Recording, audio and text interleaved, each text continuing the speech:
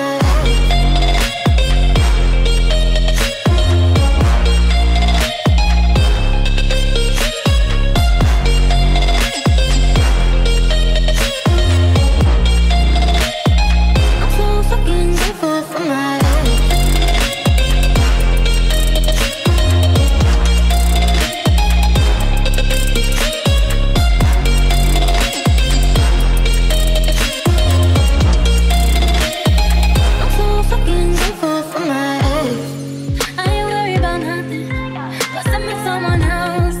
We having better discussions.